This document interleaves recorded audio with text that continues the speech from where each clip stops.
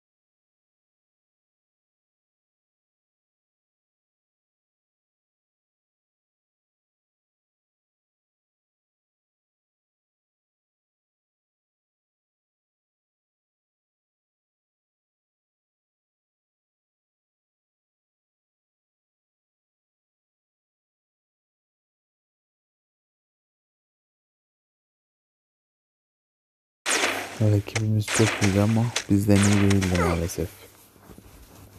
İzlediğiniz için teşekkürler.